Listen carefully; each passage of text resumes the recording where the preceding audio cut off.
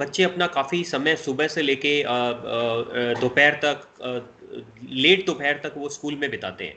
तो अगर बच्चे हैं या जैसे कुछ लोग हैं जो कि बहुत एक्टिव रहते हैं, एक्टिव लाइफ है उनकी बहुत ज़्यादा वैसे फिट हैं, उनको कोई बीमारी नहीं है तो वो लंबे समय तक अगर उनको इस पद्धति पे रहना है तो वो कैसे करें?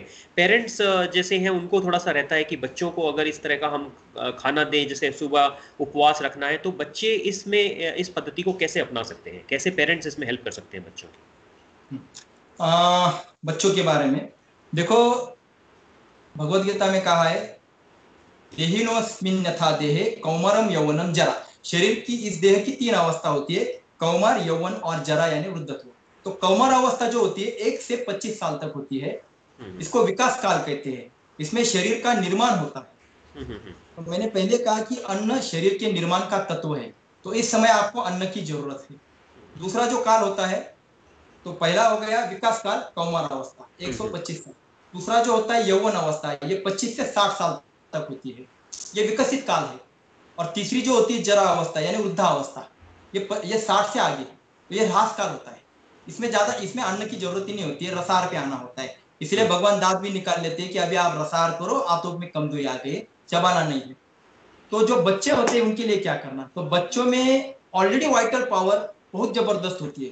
क्योंकि वाइटल हम्म। पावर शुद्धता पे निर्भर होती है। अगर आपको कुछ सीढ़िया चढ़ना है तो तो बालक युवा और वृद्ध ये तीनों को एक साथ चलने को बोलो इसमें सबसे आगे कौन चलेगा? तो बच्चा चलेगा।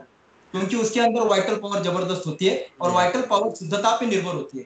तो बच्चा जो है वो कम खाएगा पर ज़्यादा एक्टिव रहेगा। हम्म। इसलिए सभी माओ सभी माँ का पहला सवाल क्या होता है कि मेरा बच्चा खाता ही कुछ नहीं। आप अपनी तुलना बच्चों से मत कीजिए। बच्चे को भूख लगेगी वो अपने आप खाएगा। दुनिया में कोई भी माँ बच्चों को बगैर खाना खिलाए भेजना नहीं चाहती और दुनिया का को कोई भी बच्चा खाना खाकर स्कूल जाना नहीं चाहता। जाना नहीं चाहता। बिल्कुल खाने की इच्छा ही नहीं करता है। हम ज़बरदस्ती उसके पीछे पड़ते हैं। कोई भी प्राणी दुनिया में देखा नहीं गया है कि अपने बच्चों को खा खा खा ऐसा पीछे भागता है। पर यहाँ हम मानव जात कर रहे हैं। तो पहली बात तो ये है कि बच्चे में वाइटल पावर ज़बरदस्त होती है। और मैंने और एक बात कही थी उम्र से फास्टिंग का कोई लेना देना नहीं है। तो बच्चों को भी आप सुबह पानी की बूंद भी नहीं देना कम से कम तीन घंटा तीन घंटा।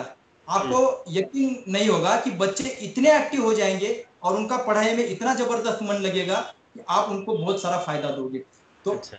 माँ और बाप को ये पता नहीं तो बच्चे को क्या दोगे आप? तो इसलिए पहले आप करो तो पत, हम्म। पता चलेगा बच्चों को कैसे करना है तो बच्चों को बार तीन घंटे उपवास करना है उसके बाद बच्चों को क्या करना है तो उनको दो वक्त के दो वक्त पे भोजन बंद नहीं करना है क्योंकि उनके बॉडी का निर्माण हो रहा है दोनों हम्म। उनको जो चाहिए वो खिलाओ रुचे सो पचे तो बच्चों हम्म। की जो वाइटल पावर है वो सबको हजम करती है तो। उसमें चिंता करने की बात नहीं सिर्फ़ दो तीन बातें ध्यान में रखो चाय दूध दूध का कोई भी पदार्थ उसको नहीं देना अंडा नॉन वेज तो ये तो दूरी रह तो प्राणिज पदार्थ को कोई भी नहीं देना क्या होता है दूध जो होता है वो देने के बाद बच्चा उसका पेट भर जाता है वो कुछ भी खाने की इच्छा नहीं करता है।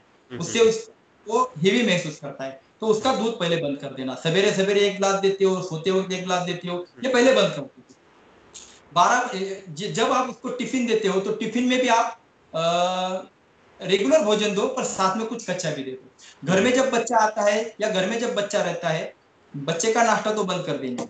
जब बच्चा घर में आता है तब उसको भोजन से पहले हरी पत्तियों का जूस एक गिलास दे देना। हरी पत्तियों का जूस जो होता है वो उसके शरीर में एक एंटीबायोटिक का काम करेगा। उसको कभी देखो सभी बच्चे क्लाइमेट बदलता है तो बुखार आता है खांसी आती है गले का इन्फेक्शन होता है। ये अंदर जो है हम कम कमज़ोर होते जा रहे हैं। अगर ग्रीन जूस देते हैं तो बच्चा स्ट्रांग रहेगा मेंटली भी और शारीरिक भी। तो ये सफ़ाई करेगा बॉडी के अंदर की तो इसको ग्रीन जूस देना और उसको अपना भोजन दे देना। और दोपहर को जब चाहे तब फल देना। और रात को भी बच्चा खाता है तो खाने से पहले उसको कोई भी वेजिटेबल जूस दे देना। बस आपको अगर दूध देने की बहुत ही इच्छा है, क्योंकि दूध के ऊपर बहुत लोग बात करते हैं। हम दूध के विरोध में नहीं बात करते, पर जितना टालोगे उतना फ़ायदा होगा। अब बच्चों को दूध देने की ही ज़रूरत लगती है आपको, क्योंकि घर के सभी सदस्य तो मानते नहीं है। तो कोई बात नहीं तो हफ़्ते में एक हाथ दो बार बच्चों को दूध दे सकते हैं, वो भी रात में ही देना।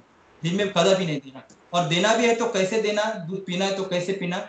कि जो दूध है आप एक बार उसको उबालो फ्रिज में रखो उसके ऊपर जो मोटा लेयर आएगा तो उसको निकाल दो फिर से दूध गर्म करो फिर से फ्रिज में रखो तो ऐसा तीन बार करो उसके बाद उसको दूध दे सकते हैं तो वो हजम के लिए लायक हो सकता है। फिर भी दूध जितना टालो उतना टालो। तो बच्चों को आप आ, ये सब जो है कच्चे का ज़्यादा से ज़्यादा मात्रा में दो बाकी वो खाए ना खाए वो कितना एक्टिव है ये देखना ज़रूरी है। अगर वो शांति से बैठ रहा है मंद हो गया है तो डरने की बात है वो हम्म। अगर कम खाता है तो उसकी बैटरी है कम समय में चार्ज हो रही है तो आप क्यों चिंता कर रहे हो? तो वो ज़्यादा से ज़्यादा कच्चे पर रहे और जितना पकाया खा रहा है खाने दो। तो उनको कोई मना ही नहीं है जैसा उनको देना है दे सकते बहुत बढ़िया आपने ये बड़ा अच्छा एग्ज़ाम्पल